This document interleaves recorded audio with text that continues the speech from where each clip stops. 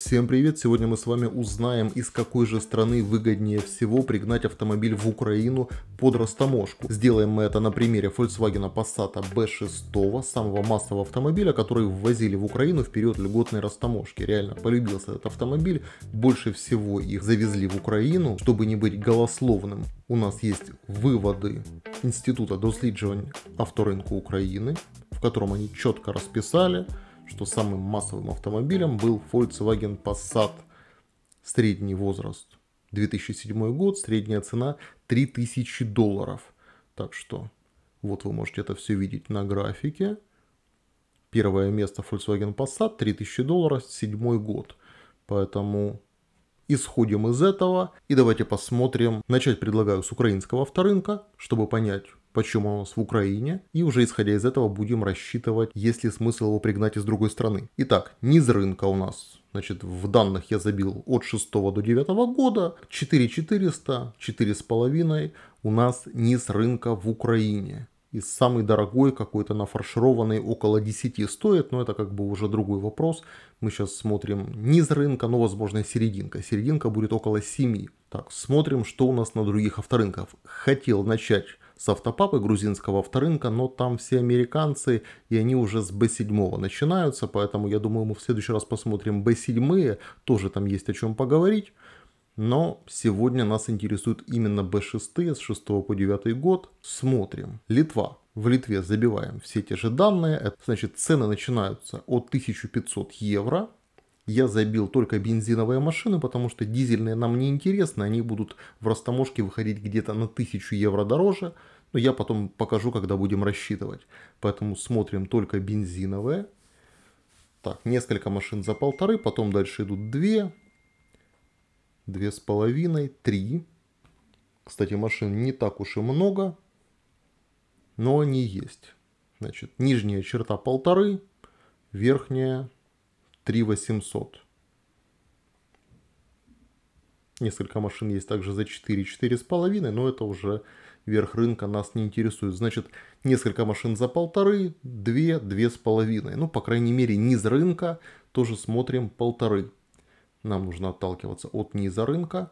Дальше смотрим, что у нас по Польше. Итак, э, в Польше курс доллар примерно 1 к 5, соответственно, от 9 тысяч злотых начинаются цены, сразу же перерастают в 10, соответственно 10 злотых это 2000 долларов, полторы практически нет, сразу же цены стартуют от двух и стремятся уже к трем. Поэтому Польша нам не сильно подходит. Ну, мы с вами смотрели уже польские авторынки, там что-то очень дорого. Ну, на заметку берем, что в Польше начинаются от двух. И давайте посмотрим теперь, что у нас по Германии. Опять же таки, все те же данные вбиваем. Так, цены начинаются 1250, 1500, 1600. Ну, слушайте, в Германии больше всего, оказывается, машин до двух. Дальше тоже 2700, 3. Ну, тоже берем на заметку, что в Германии цены начинаются от полторы. Ну и давайте считать. Итак, давайте я вам сразу объясню, почему я не брал в расчет дизель. Значит, ставим дизель, седьмой год какой-нибудь двухлитровый, даже вот по такой же цене за 1600 евро. Смотрим. У нас 3000 евро уже таможенных платежей, нам уже сразу же эта машина не интересна, потому что если даже взять его за полторы, плюс 3 это уже 4,5, причем евро, а не долларов, нам уже это не интересно. Еще же есть затраты на доставку, есть еще пенсионный фонд, то есть машина просто перестает быть интересной. Поэтому мы рассматриваем бензиновые машины и объемом мотора не более чем 1,8. Значит, ставим 1500 евро э, цена автомобиля и плюс 100 евро закладываем на доставку, но это доставка если из Польши. Если из Литвы, то уже будет доставка примерно 300 евро, если из Германии тоже примерно 300. Поэтому если у нас 1500 евро цена, нужно добавлять 300 к оценке и уже из этого начислять налоги. Так сделает таможня, поэтому с этим нет смысла спорить, сразу же рассчитываем из реалий, которые есть. У нас получается 2000, ну давайте округлим, 200 евро таможенных платежей и 50 евро пенсионный фонд.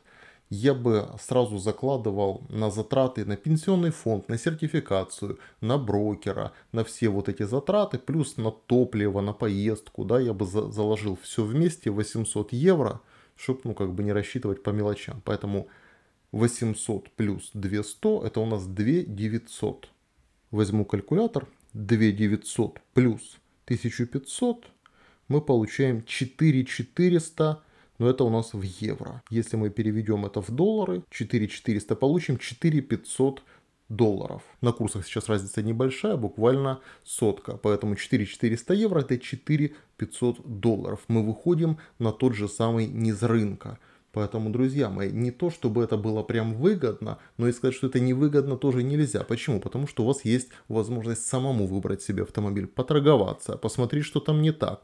Возможно, вы там есть какая-то маленькая поломка, которая для вас не страшна или которую вы можете сами устранить.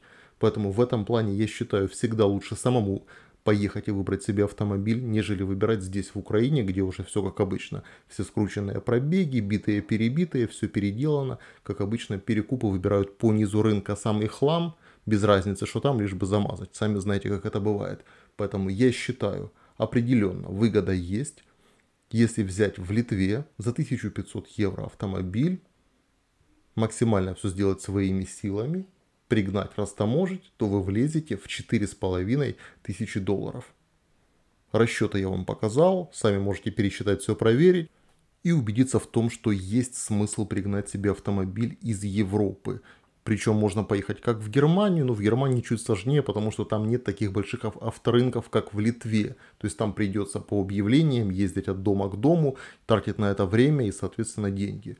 Поэтому Литва остается самым большим авторынком, туда можно приехать, сразу их все в течение там двух-трех дней обойти, потратить минимальное количество денег на проживание и приобрести себе автомобиль и приехать. Кому понравилось такое видео, ставьте лайк, обязательно подпишитесь, напишите в комментариях, что вам понравилось, что нет. Если нужны услуги брокера или подбора в Литве, обязательно обращайтесь к нам. До новых встреч, пока!